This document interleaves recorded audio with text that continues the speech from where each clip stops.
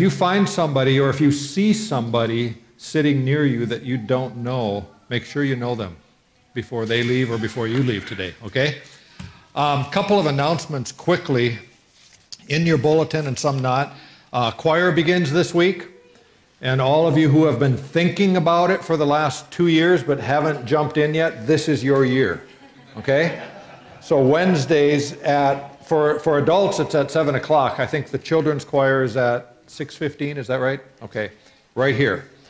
And Angie will be leading the choirs again this year. Thank you, Angie. Uh, note, ladies, the WMF announcement. I'm not going to read it, but it's in there. Uh, and also the missions committee announcement just on support. So take a look at those announcements. Um, Carol Lubke is, she has one book left on the Roman study. So that one person who's been hesitating and thinking you need to do it, but you didn't yet, that's your book. Uh, now, one update on the Roman study. It's Tuesday afternoon at 1.30 or Wednesday afternoon at 1.30. The Monday night one is not being held just because there wasn't a large enough group for Monday night. So Tuesday afternoon, Wednesday afternoon, 1.30. And the book, see Carol if you would like a book. Um, Sunday school is looking for volunteers to provide Sunday school snacks on Sunday mornings. So if you are able to do that on a time or times, uh, see Jeremy today or uh, contact Betsy Tiemann, one of those two, and they'll get you on the schedule. Anything else? Um, oh, just this announcement. We, we had talked at one of the congregational meetings concerning the, the construction and the project, and one of the ideas that came forth was before they put the floor in the new sanctuary, just to write on the foundation, on, on the concrete before they cover it, but it'll be there, uh, different scripture passages. You know, something maybe near the pulpit area uh, that we stand on the word, or scriptures that would speak to various functions within the, the sanctuary. And we're, we're going to have a night where we can just come in and write those verses on the floor before they get covered up. And we'll all know they're there and God will know they're there, and it'll just be a reminder to us that we are standing on the Word of God literally as well as in other ways. But um, dates to be determined. The presumed date at this point of that event, it'll be an evening of probably the 30th, which is what, two weeks from tonight.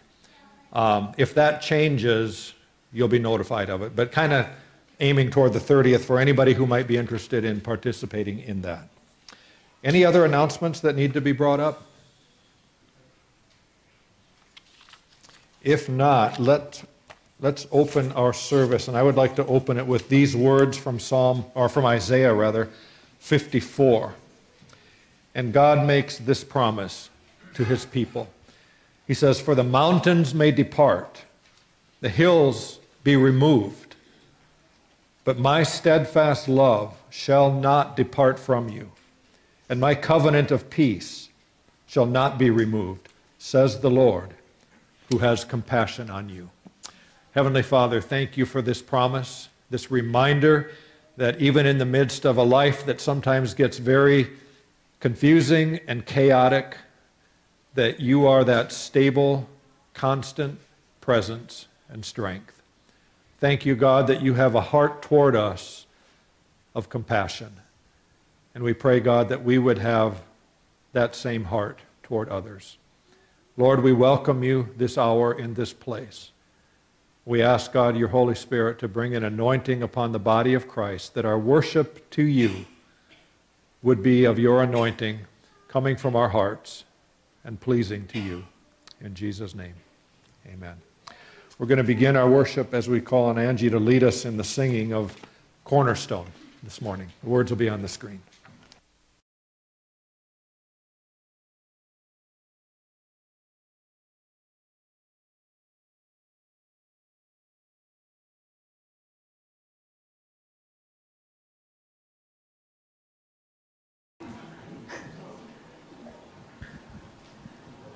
It says it's searching down the corner there. Oh, there we go. All right, here we go.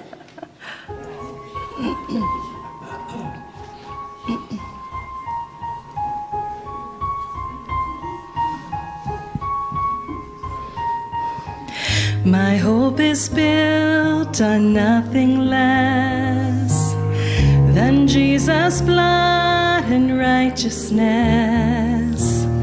I dare not trust the sweetest frame, but wholly in Jesus' name. My hope is built on nothing less than Jesus' blood and righteousness. I dare not trust the sweetest frame, but wholly trust in Jesus' name. But alone, cornerstone, weak made strong in the Savior's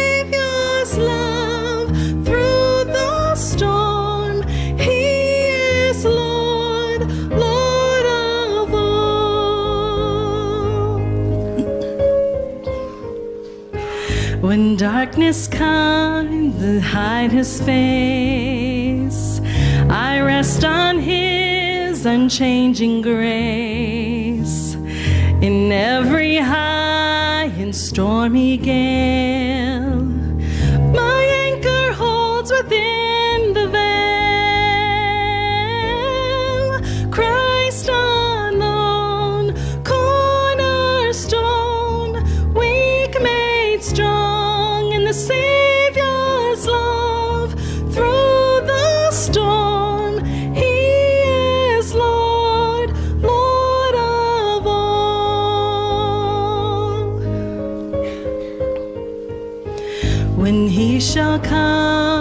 with trumpet sound, oh, may I then in him be found, dressed in his righteousness alone,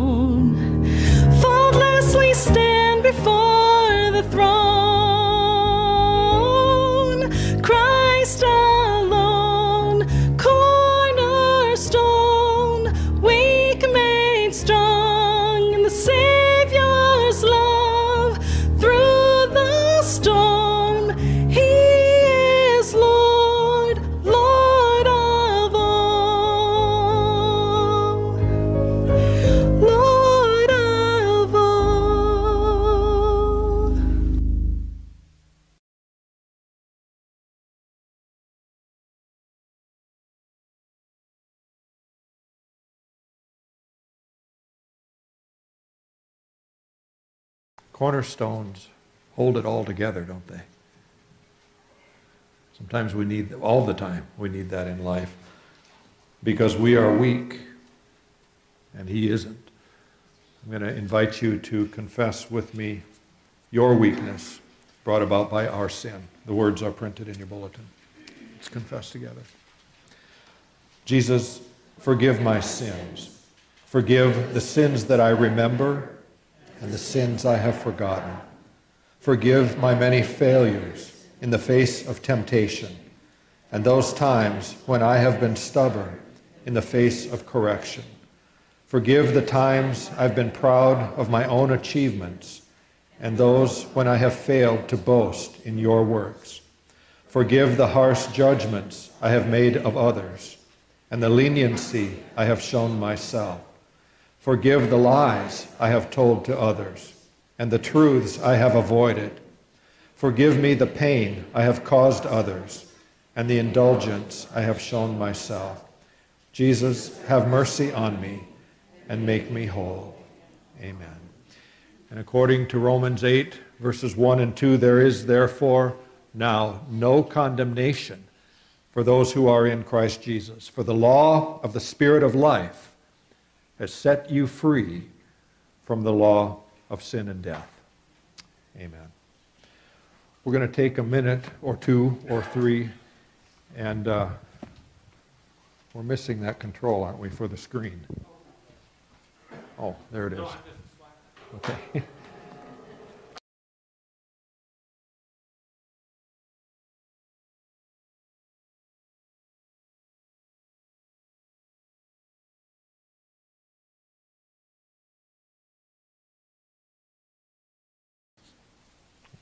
Let's, let's pray together.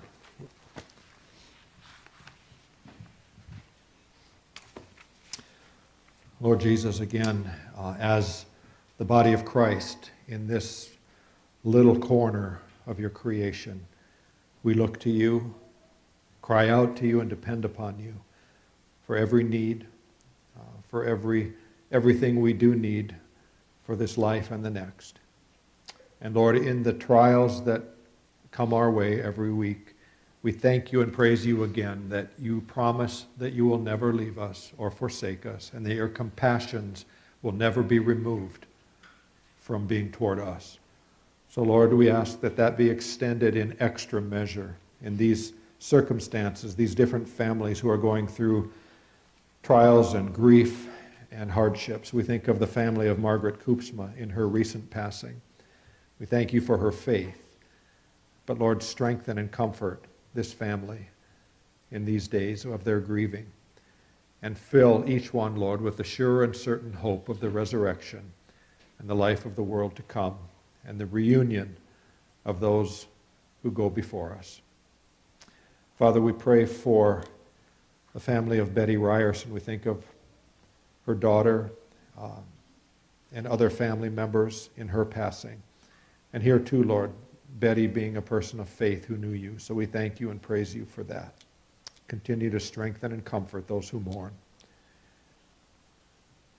Father, we pray for those who are going through physical trials of their own. And we, we ask for your, we first of all praise you for the report after Julie Broughton's surgery that there was no infection. And we ask, God, that the healing now would, would be able to be completed. Uh, just with your touch, bring that healing upon her body, upon this incision site. Thank you for her trust in you through all things. We pray for Kurt and Myrene's friend Larry, who had this accident this week and broke his pelvis. God, we pray for healing of his bones, uh, that, that this would not be a situation that would hinder him from anything you would have him do the rest of his life. And Lord, use the time where he is of necessity slowing down for healing. Use that, Lord, just to speak truth and comfort and peace into his life. Father, we pray for Brad's mother, Shar, as she continues to uh, well, go through this, this sickness, this illness, even as she goes on hospice now. Uh, just be her strength for every day that you've given her. Let her light continue to shine ever more brightly. Your word says, though our outer body is decaying, yet our inner, our inner being is being renewed day by day. God, we pray that that would be increasingly evident in her life, in her testimony. We pray for Gary Midland, Lord, in the aftermath of his recent appointment and uh, just trying to find answers or remedies for the infection, the loss of hearing that has come recently to him. God, we ask you for healing. We ask for restoration of his hearing, if you would give that, Lord. And at this next appointment, Lord, that he goes back, let it be one of encouragement to him. Uh, and Lord, may your presence just fill his life, his home, with your peace. And Father, we then pray for those who are going through this tremendous storm on the East Coast uh, with the wind and even more damaging, the rain, all the water. Uh, God, thank you for those who are so quick to respond and be available to give help and assistance, uh, some of it life saving. God, go before them, uh, both in the plans of recovering from this, but in also leading in specific cases, uh, just answers to prayers that undoubtedly are being sent your way in the midst of this crisis. And Lord, use this crisis in our nation as another means of drawing people's hearts and eyes toward you. And Lord, we do pray for this country. We pray for faith to be invigorated in this land. Uh, we pray, God, that we would continue to be a nation that is a light to the world in bearing the truth in a day when truth is no longer sought in the hearts of people like it once was. God, pour out your Spirit on any who would turn to you and look to you and put their trust in you. We pray for our leaders, our president, our Congress, on every level, the leadership, that it would have heavenly wisdom, and that you would guide this nation on a path that is of your choosing and your will. And Lord, then we pray for that place that is so significant in your eternal plan of redemption and salvation, that little tiny plot of land over which there is so much consternation in this world, a tiny place called Israel. We pray for the peace of Jerusalem, wisdom for its leaders, and for your perfect plan in your perfect timing to be unfolded. And make us ready, God. Prepare us for what, whatever is coming in life, in, in our lives, or in your purpose. All these things we pray. In Jesus' name, amen. Remind you to sign your prayer slips and just pass them to the center aisle if, if you're newer and that's unfamiliar. We're just asking for your name, first and last, and that's it. And whoever draws your name, just pray for that person throughout the week. Uh, make sure you draw one if you put one in when you leave when you leave the sanctuary this morning. Uh, we're going to call on our ushers to receive our tithes and offerings.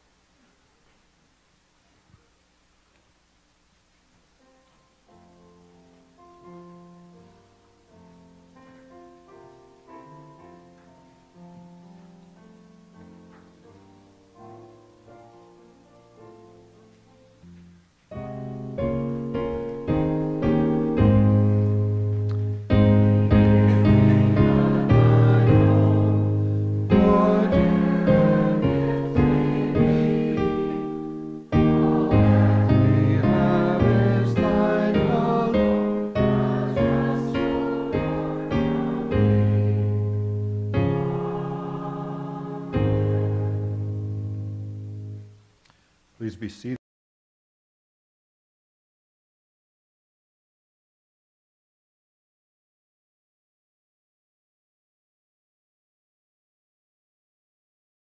If you would turn to your bulletin, we're going to take a stand on some of the words from the Lord that pertain to your life and your faith. And these words taken from the first chapter of 1 Corinthians. I would invite you to join with me.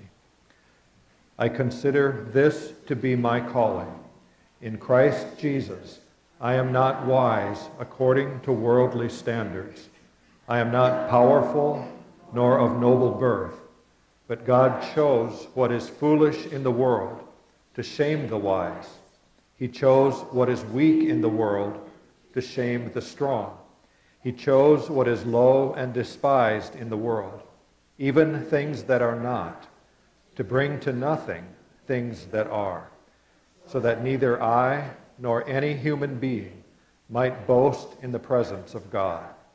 And because of him, I am in Christ Jesus, who became to us wisdom from God, righteousness and sanctification and redemption, so that when I boast, my boasting is in the Lord.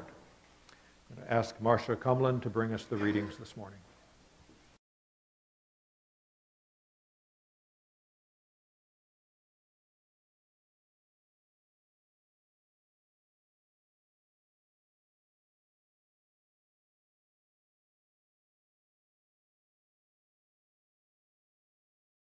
That better? Good morning. There we are. Okay.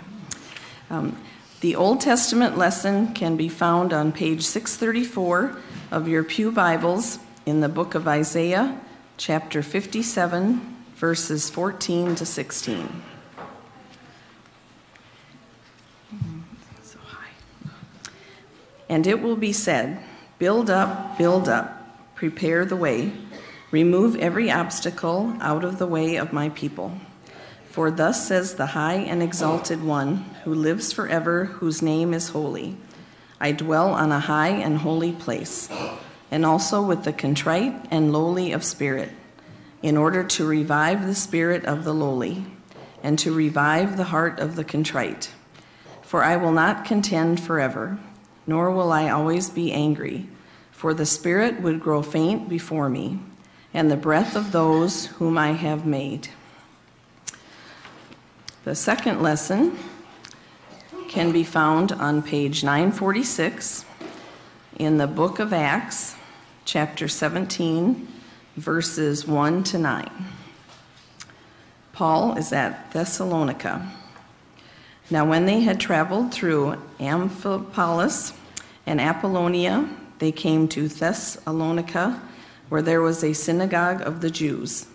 And according to Paul's custom, he went to them and for three Sabbaths reasoned with them from the Scriptures, explaining and giving evidence that the Christ had to suffer and rise again from the dead, and saying, This Jesus, who I am proclaiming to you, is the Christ.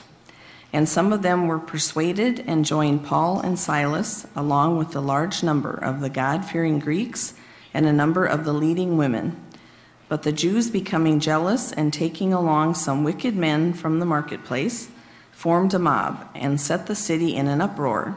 And attacking the house of Jason, they were seeking to bring them out to the people.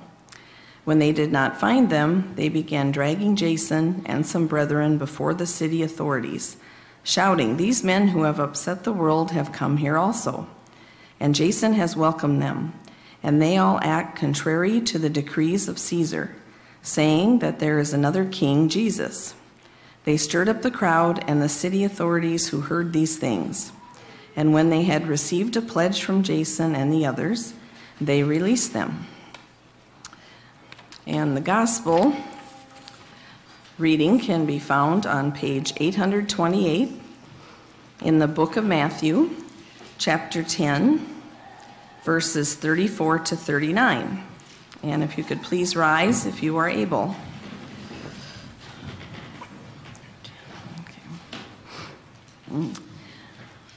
Do not think that I came to bring peace on the earth. I did not come to bring peace, but a sword. For I came to set a man against his father, and a daughter against her mother, and a daughter in law against her mother in law. And a man's enemies will be the members of his household.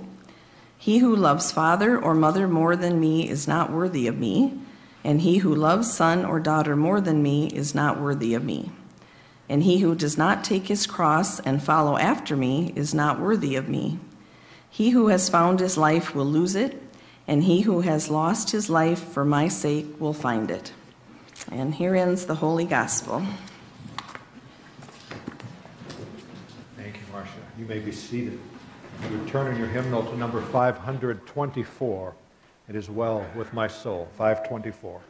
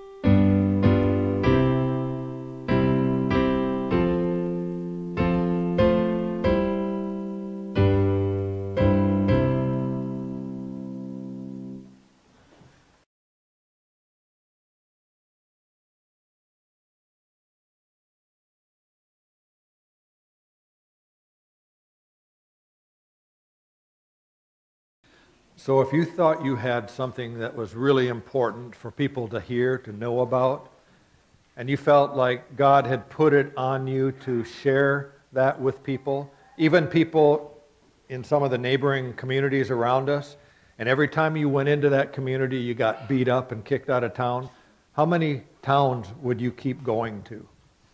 How long would it take where you say it's not worth it? I mean, Paul got rolled quite a few times, didn't he? I mean, you read the scriptures, and, and Paul uh, wasn't infrequent that he was run out of town. And a lot of times he escaped injury, but sometimes he was beaten. He was injured pretty badly. Once at least, even left for dead on the road. Everybody thought he had died, and he may have. I mean, it's kind of interesting. You look at that portion of Scripture where he talks about uh, someone he knows, speaking of himself, who was taken into the third heaven and saw things that he can't even share. I mean, some people think maybe that was when he was, maybe he had died and the Holy Spirit gave him life to come back and continue ministry. We don't know for sure.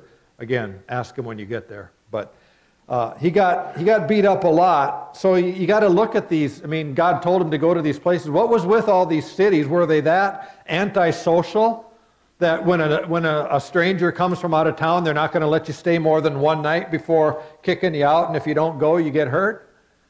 No, it wasn't, it wasn't that at all. Um,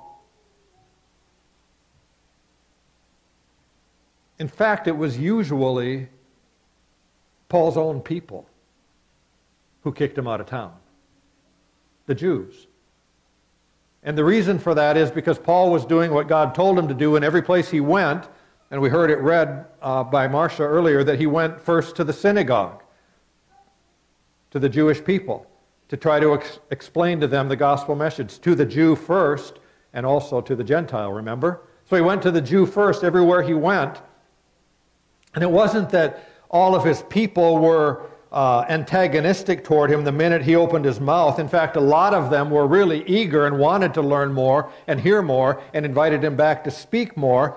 Uh, but that was the problem, you see, because then some others of his people who had kind of higher roles within the spiritual leadership of his people, the, the, the synagogue rulers, and then the governing bodies, the Pharisees and the Sadducees and the scribes, they rose up against Paul in city after city after city, and they would go out into the, into the streets uh, and gather people together saying, This guy, this guy, he's come to our town and he's trying to cause a ruckus. He's trying to mess everything up.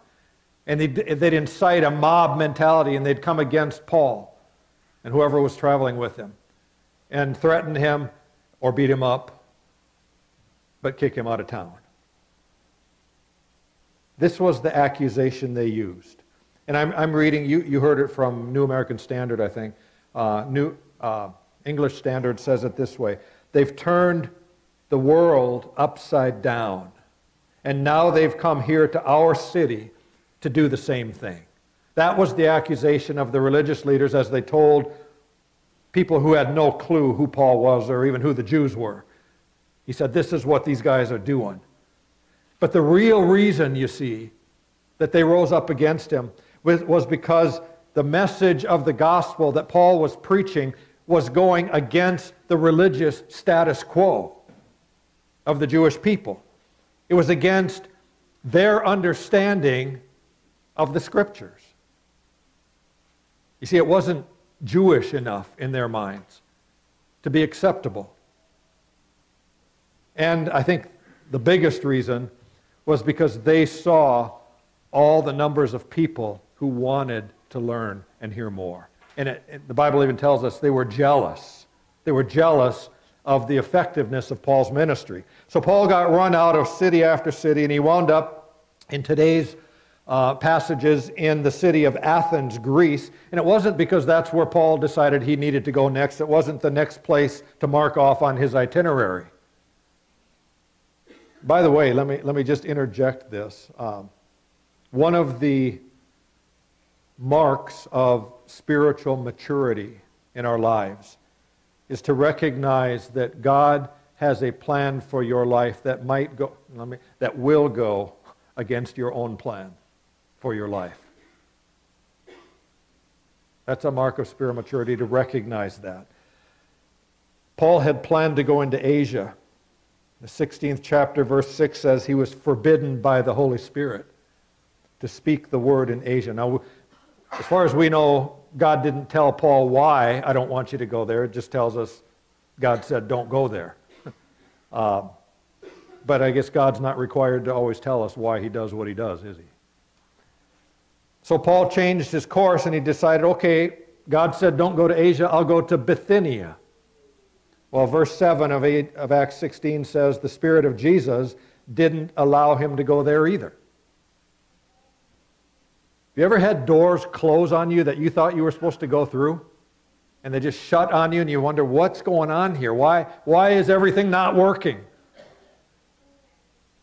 One thing to remember when that happens is this when God closes a door you were pretty sure you were supposed to walk through, you need to be looking because He's probably about to open one that you didn't see coming.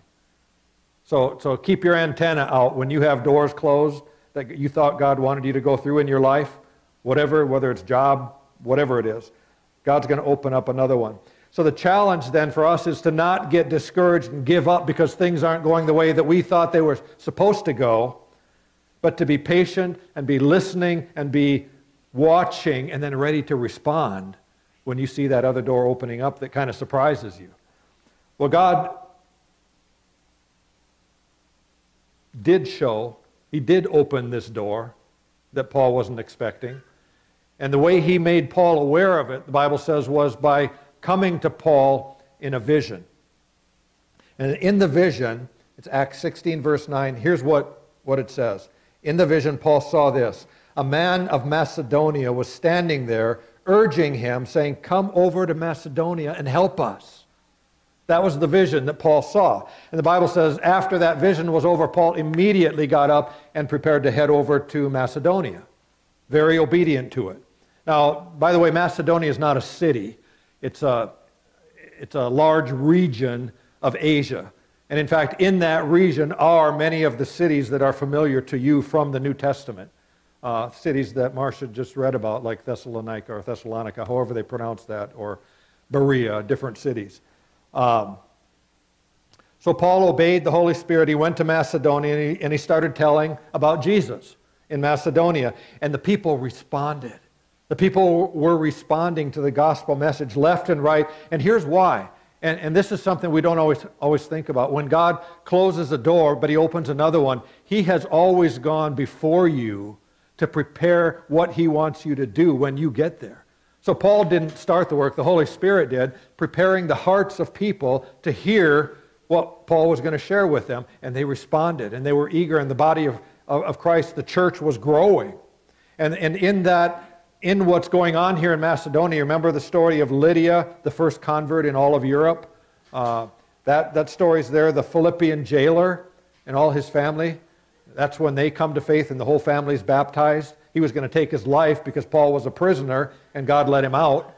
And the jailer thought, I'm going to be killed for this. So he was going to take his life. And Paul said, No, no, don't do it. And he shared the gospel, and his whole family became believers. In Thessalonica, it says a large number of God fearing Greeks as well as many of the leading women of the city, came to faith by Paul's message. Uh, so, all of this is going on because Paul was obedient to go to Macedonia. But guess what? When things like this happen and people's lives are getting changed, word starts getting out.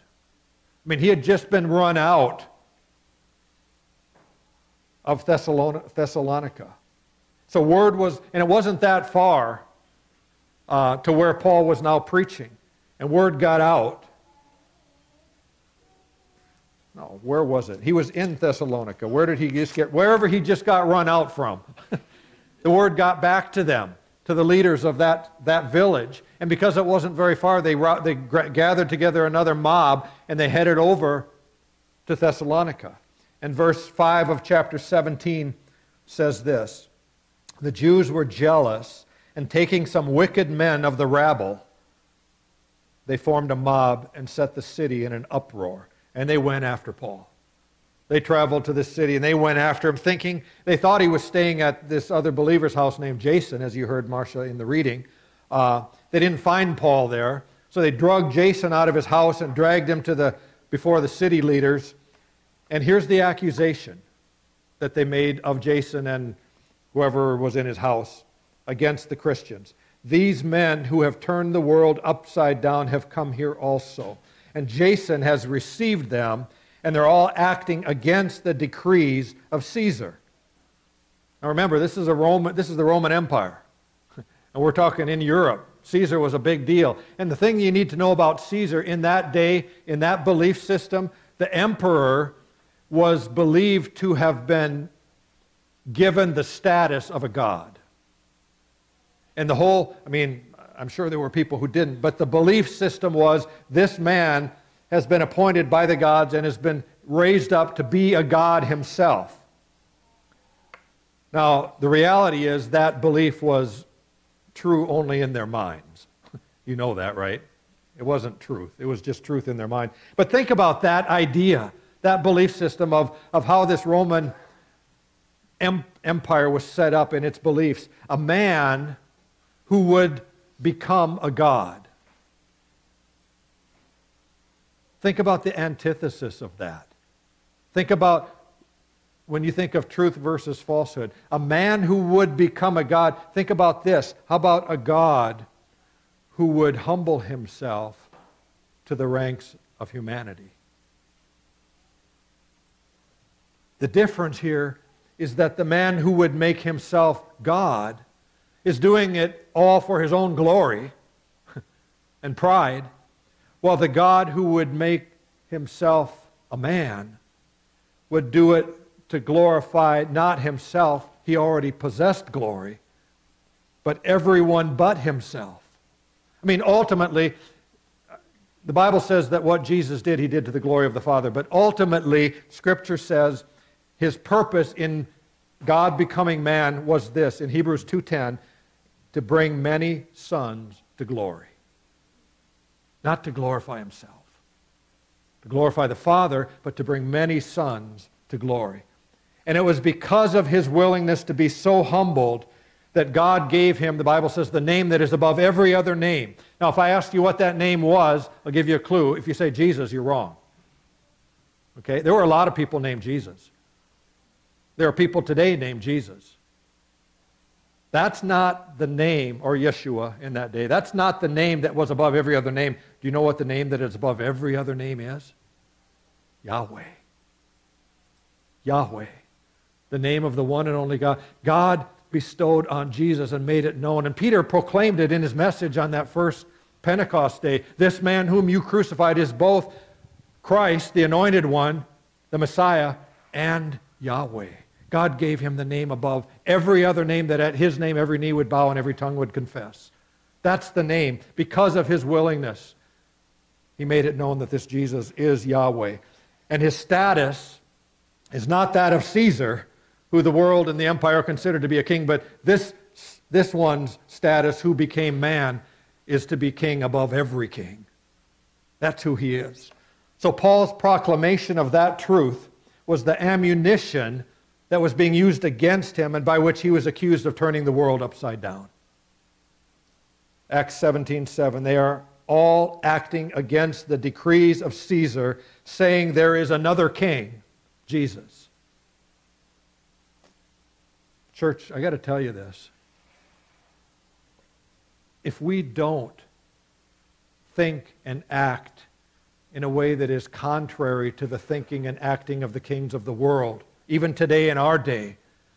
If we don't recognize and proclaim Jesus as king above all kings, then we have no distinction from the world.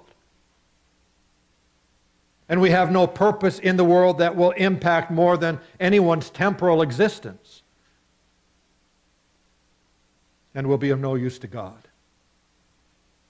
I don't know about you, but I don't want that to be said of me that God would say someday, you know, I couldn't use you. You wouldn't be used. You wouldn't distinguish yourself from every other person's belief system in the world. I don't want that said of me, even if the only option is to be willing to be accused of turning the world upside down. With all the consequences that come with the accusation. You know, we do ourselves nor the world any favors by pretending that the message we bear and the message the world wants to hear can coexist in peace. Why do so many try to do that? Why do so many in the church try to blend those messages together as if they can coexist in peace? What did Jesus say? We heard it read. I did not come. Don't think I've come, he said, to bring peace on the earth. And it's not that God loves violence or war. He just knows that when the truth is, pro- is proclaimed, it's going to cause division because people are going to react against it because they don't want to hear it. And those who do want to hear it and those who don't are going to clash.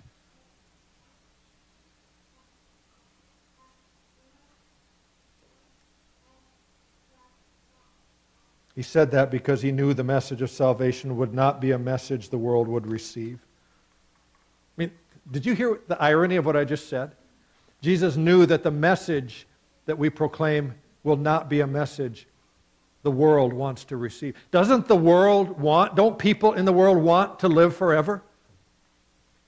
Don't people want eternal life? I mean, that doesn't make sense to me. They, oh, they, they want that. You better believe they want it. They want that more than anything, but they want it on their terms. And their terms are live how I want now and get what I want then. That's the world's terms for eternal life. And to suggest that God's terms are the only terms which makes eternal life possible, well, that's just not acceptable to many. As the citizens of Thessalonica were rebelling with violent, violence against God's terms. Paul got out of the city, this time before they got their hands on him.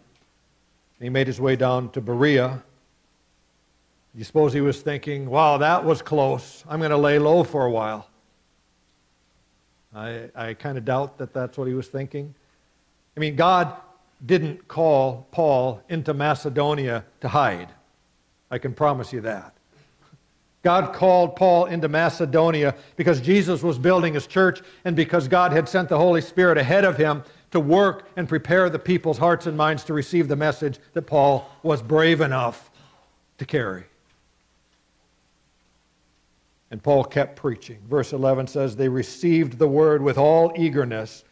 And verse 7 says, Many of them believed. Berea has a good commentary on it because these are the people who sought the scriptures they had their Old Testament, and Paul was teaching them something they hadn't heard, and they sought the scriptures and they said, Yes, this does point to what Paul is saying to. This is true. And they received it. But Berea wasn't very far from Thessalonica, where they had just been run out. And again, it didn't take long for the synagogue rulers to hear about what was going on in Berea. So the same ones who had chased him out of Thessalonica made their way to Berea and once again, Paul had to run for his life. What a life he lived, huh? Always on the run. And why do you suppose God was allowing all this to happen? I mean, most of us would say, enough. I can't live this way. Why was God allowing all this to happen? I mean, those who were so violently opposed to the gospel message seemed to be prevailing. And they weren't struck down every time they kicked Paul out or beat him up. Why didn't you do that, God? They, they weren't miraculous, miraculously prevented from carrying out their actions of their evil hearts. No, none of that happened. But here's the thing you see, everywhere Paul or everywhere God's people went, even when they were fleeing for safety, even when they were on the run for their lives, they were not keeping quiet. Everywhere they went, they were sharing, they were talking, they were presenting the gospel message. And seeds of new faith were being planted in all of these towns where they were running. And new believers were springing up. And the church was growing. You see, even the motivations of those who opposed Paul, even though those motivations were born out of sin, God was using them for his own purpose of righteousness. And if we don't understand that God is still working that way today, then we allow the world to silence the church. If we allow hardships, if we get discouraged and it causes us to be silent, we're allowing the world to stop the spreading of the gospel. And that must not happen, church. God is calling out today, I really believe this. Who is willing to tell the world about my son, Jesus? Who's willing to carry on even in the face of opposition? Who's willing to face the heat? Who's willing to believe that I am with you wherever you go and that I'm still accomplishing amazing things in this world today in every place where my church is willing to be obedient? Who's willing to turn the world upside down? Not by taking on the violent ways of the world, but simply by refusing to be silenced from proclaiming the message that God has brought humanity and God back together again, if they will take it, if they'll receive it. Let me ask you, church, how much does it bother you to witness our society losing faith? I mean, can you watch that happen and it not affect you at all? How much is that bothering you? Paul had been hurriedly escorted all the way down to Athens. So he got there, and he had to wait for Silas and Timothy to catch up with him. But notice, even in his downtime, how God was using Paul. It says he started wandering through the streets of Athens. Verse 16, and his spirit was provoked within him as he saw that the city was full of idols. Why would that bother Paul? I mean, I suspect the attitude of most people in Paul's day was the same as it is for most people today. Don't worry about anybody else's business. If they're not hurting you, keep your nose out of it. Just to be clear, the people of Athens, the common citizens, the philosophers in, of which the city was full, the temple priests of all these false gods, none of them were seeking out Paul. None of them were trying to find Paul. They hadn't asked for his opinion. No one had tried to fo- uh, force their opinion on him. He had come to them, remember? So, why was his spirit provoked? Because Paul understood the consequences of not knowing the one true God. And he had a God given compassion for the lost. Paul couldn't have done anything of what he did without a God given compassion for the lost. And we have to ask does the church have this today? Does the church have compassion for the lost? And if we don't, then we need to be asking God for it. That better be in your prayers. We're going to pray about it today because I think we all probably need a boost in that. And if we don't have compassion, our spirit will not be provoked. And if we're not provoked at a spiritual level over lost souls, then the church will have no impact on the world. Paul knew that he was in Athens for a reason. He knew that his reason meant that he was going to upset some people. But he had long since laid down his fear of man. And let's face it, church, it is the fear of man that keeps us silent way too often, isn't it? We worry about upsetting people, don't we? we do. Paul was out in the streets interacting with the people, listening to their philosophies, listening to all the various worldviews that came together in Athens. And he was reasoning with them, verse 17 says. And his reasoning with them involved this it involved explaining sin, what it is, telling them that there is a Savior named Jesus, explaining the crucifixion, and declaring the resurrection of the dead. This is how he was addressing all these belief systems. And because his reasoning was so different than all of the philosophers and what they were teaching, it got their attention. It got their ears. And, he, and they said, he seems to be a preacher of foreign divinities. And they said, eh, or the Bible says, they brought him to the Areopagus, saying, May we know what this new teaching is that you're presenting. For you bring some strange things to our ears. We wish to know, therefore, what these things mean. And once again, it's amazing. The Spirit of God had gone ahead of Paul, setting up for him the stage by which he was given opportunity to present the, the message of salvation to the people of Greece. He couldn't have done that on his own, his own thinking and planning. This was his message, Acts 17 30 and 31. The times of ignorance God has overlooked, but now he commands all people everywhere to repent because he's fixed a day on which he'll judge the world in righteousness by a man whom he's appointed, and of this he has given assurance to all by raising him from the dead.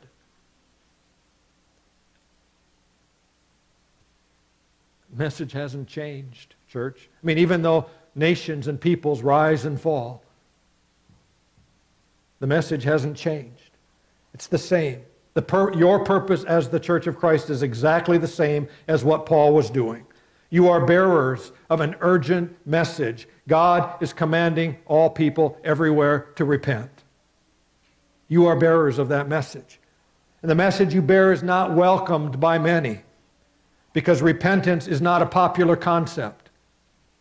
It suggests that I might have to change how I live. You are involved, church, in what God is doing today, wherever it might take you, if you're willing. The encouragement is if God is in it, there are no obstacles because God's already gone ahead of you. He'll use those who are willing to represent Him. He might even send visions, who knows, if you're willing to be obedient to Him. And He'll go before us to prepare the circumstances, prepare the hearts. Yes, there will be people who get upset when the church does what Jesus commissioned us to do. But that happens, church. That happens when kingdoms clash. Don't you know that? It's not a reason to pull back, it just means the enemy is shaken. Jesus went through hell itself for the sake of a few. Are we willing to see some portion of our world turned upside down as a necessary means by which a few will be saved. Would you pray with me? Jesus, I think, I think I'm true. I think I'm accurate when I say we've grown soft. And we ask you to forgive us. And God, I think the thing that changes that is to have a genuine compassion for the lost, a real concern over those who don't know you. And God, if we're weak in that, we ask you to strengthen that in us right now. Every heart, God, that is open to you in this moment with that request, strengthen me. Give me a boldness with the gospel. Give me an insight into what you're doing. Give me a faith in knowing that you are leading. Give me eyes to see the doors that you open and understand the doors that you close. And give me a compassion for the lost that will not allow me to say nothing when you present an opportunity. We ask this in Jesus' name. Amen.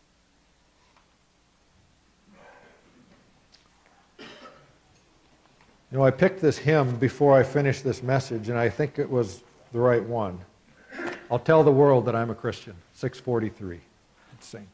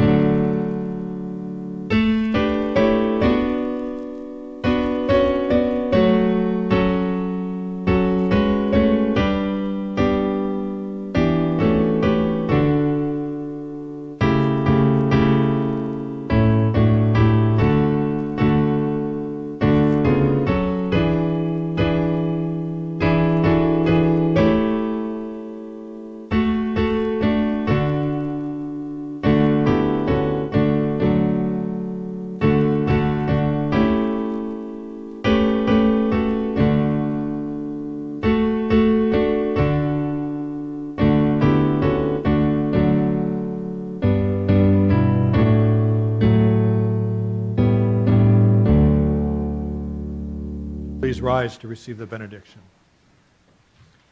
May the Lord bless you and keep you. May the Lord make his face shine on you and be gracious unto you. May the Lord lift up his countenance upon you and give you his peace. In the name of the Father, and the Son, and the Holy Spirit. Amen. Have compassion on those you run into this week. Go ahead. Thank you.